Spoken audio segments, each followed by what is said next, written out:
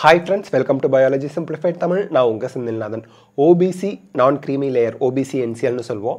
Economically weaker section இந்த ரெண்டு கேட்டகரிக்கு மட்டும் வருஷ வருஷம் ஃப்ரெஷ்ஷாக சர்டிஃபிகேட் வாங்கிக்கிட்டே இருக்கணும். அந்த விதத்தில் அப்படி வருஷம் வருஷம் வாங்கக்கூடிய சர்டிஃபிகேட்டோட வேலிடிட்டி என்ன?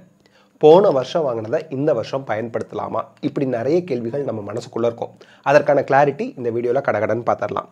First of all time period for economically weaker section EWS or OBC என்சிஎலுக்கு என்ன வந்து அந்த டைம் பீரியட் வேலிடிட்டி அப்படிங்கிறத பார்க்கலாம். எக்ஸாம்பிளுக்கு நம்ம இங்கே பார்க்குறோம்.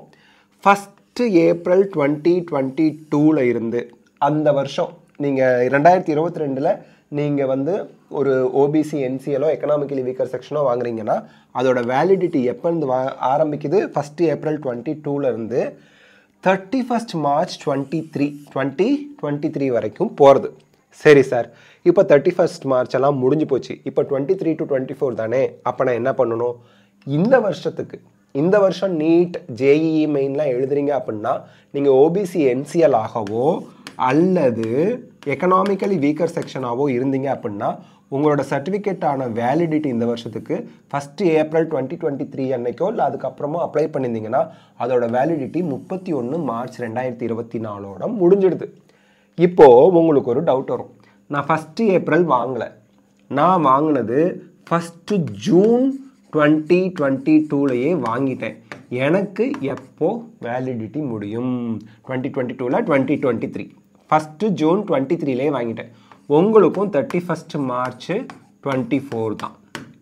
சரி thirtieth March thirtieth March twenty twenty ஃபோரில் நான் வாங்குகிறேன் உங்களுக்கும் validity thirty first March twenty twenty four தான். இது என்ன கொடுமையாக இருக்குது ஒரு நாள் தானா? எப்போவுமே ஓபிசி என்சிஎல் எக்கனாமிக்கலி வீக்கர் செக்ஷனோட அந்த சர்டிஃபிகேட் வேலிடிட்டி அப்படிங்கிறது என்னைக்கு வாங்கியிருந்தாலும் தேர்ட்டி ஃபஸ்ட் மார்ச் டுவெண்ட்டி ஃபோரோட முடிஞ்சு போயிடும். நீங்கள் ரெண்டாயிரத்தி இருபத்தி மூணில் வாங்கின சர்டிஃபிகேட்டு எந்த அன்னைக்கு வாங்கினாலும் ஏப்ரல் ஒன்றுலேருந்து அதுக்கப்புறம் எப்போ வாங்கினாலும் அதோட வேலிடிட்டி ஃபிக்ஸ்டு முப்பத்தி ஒன்று மார்ச் ரெண்டாயிரத்தி இருபத்தி நாலு முடிஞ்சிடும் ஏப்ரல் ஒன்று ரெண்டாயிரத்தி இருபத்தி நாலு வந்துச்சுன்னா நீங்கள் புதுசாக தான் வாங்கணும். இப்போது இன்னொரு கிளாரிஃபிகேஷன் இங்கே நான் சொல்லிடுறேன். If you get it now இப்போவோ அல்லது ஃபஸ்ட்டு ஏப்ரலுக்கு அப்புறம் ஃபஸ்ட்டு ஏப்ரல் ரெண்டாயிரத்தி இருபத்தி மூணுக்கு அப்புறம் நான் சொல்கிறது உங்களுக்கு புரியணும். ஃபஸ்ட்டு ஏப்ரல் ரெண்டாயிரத்தி இருபத்தி மூணு முடிஞ்சிருச்சு போன வருஷம். இப்போ ரெண்டாயிரத்தி இருபத்தி நாலில் இருக்கும். போன வருஷம் ரெண்டாயிரத்தி இருபத்தி மூணு ஃபஸ்ட்டு ஏப்ரலுக்கு அப்புறம் என்னைக்கு நீங்கள் வாங்கியிருந்தாலும் எப்போ நீங்கள் வாங்கியிருந்தாலும் எக்ஸாம்பிளுக்கு இங்கே போட்டிருக்கேன். ஜனவரி பதினெட்டு ரெண்டாயிரத்தி இருபத்தி நாலு இன்றைக்கி நீங்கள் வாங்குறீங்கன்னு வச்சுக்கோங்களேன். ஆக்சுவல் வேலிடிட்டி எப்போ முடியுது? மார்ச் முப்பத்தி ஒன்று ரெண்டாயிரத்தி இருபத்தி நாலு முடிஞ்சிடும். இப்போது நீங்கள் நீட்டுக்கும் ஜேஇக்கும் அப்ளிகேஷன் எப்போ போடுறீங்க? மார்ச் முப்பத்தொன்றுக்கு முன்னாடியே போட்டுருவீங்க. அல்லது அப்ளிகேஷன் எப்போ ஓப்பன் ஆகுது அப்ளிகேஷன் முடிகிற டேட்டா பார்க்காதீங்க. அப்ளிகேஷன் எப்போ ஓப்பன் ஆகுது? பிஃபோர் மார்ச் தேர்ட்டி ஃபஸ்ட் அப்போது மார்ச் முப்பத்தொன்றுக்கு முன்னாடியே நம்ம அப்ளிகேஷன் முடிச்சிடுறோம். அப்போ அந்த அப்ளிகேஷனுக்கு எந்த சர்டிஃபிகேட் தான் யூஸ் பண்ண முடியும்? ஓபிசி என்சிஎலும் எக்கனாமிக்கல் வீக்கர் செக்ஷனுக்கும் இந்த சர்டிஃபிகேட் தான் யூஸ் பண்ண முடியும். அதாவது மார்ச் முப்பத்தி ஒன்று ரெண்டாயிரத்தி இருபத்தி நாலோட வேலிடிட்டி முடியுதில்ல அந்த சர்டிஃபிகேட் தான் யூஸ் பண்ண முடியும். ஒரு எக்ஸாமுக்கு அப்ளிகேஷன் அப்போ என்ன சர்டிஃபிகேட் யூஸ் பண்ணீங்களோ அந்த சர்டிஃபிகேட் அந்த எக்ஸாம் பேஸ் பண்ணி கொடுக்கக்கூடிய அட்மிஷன் முடிகிற வரைக்கும் செல்லும். இதில் எந்த மாற்று கருத்தும் இல்லை. அப்போது நீங்கள் இந்த இடத்துல நல்லா ஞாபகம் வச்சுக்கோங்க.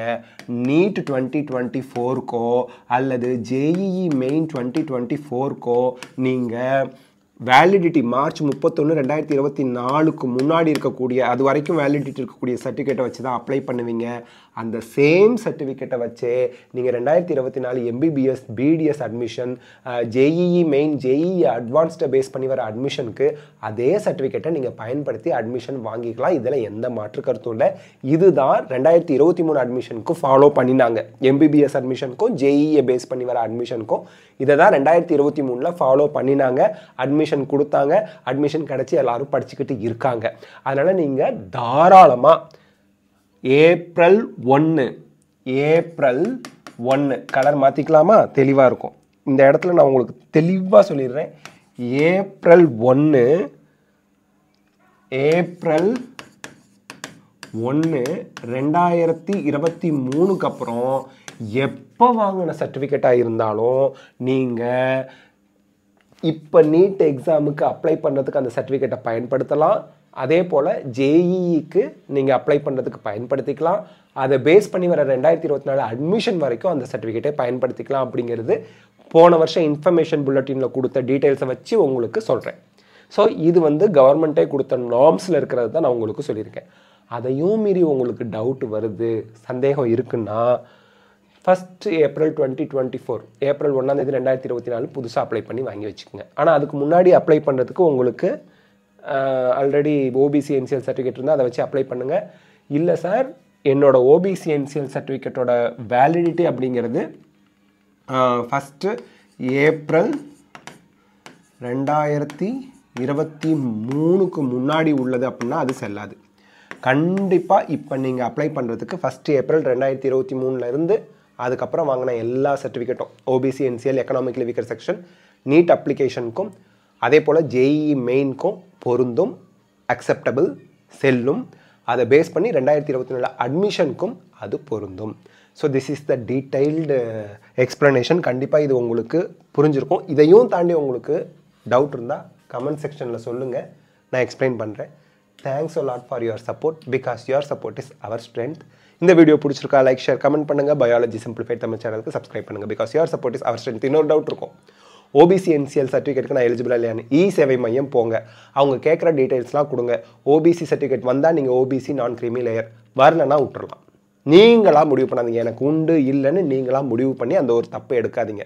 அதே மாதிரி எக்கனாமிக்கல் வீக்கர் செக்ஷன் நீங்கள் இருக்கீங்களா இல்லையா? உங்களுக்கு தெரியாது. இ சேவை மையம் போங்க. அவங்க கேட்குற டீட்டெயிலெலாம் கொடுங்க. சர்டிஃபிகேட் இருந்து உங்களுக்கு எலிஜிபிள் இருந்தால் அவன் வாங்கி கொடுக்க போகிறான் இல்லைன்னா வராது. ஓகே நோ இஷ்யூஸ் இந்த இடத்துல ஓபிசி நான் க்ரீமி லேயரில் யாரெல்லாம் எலிஜிபிள்னு வருவீங்க?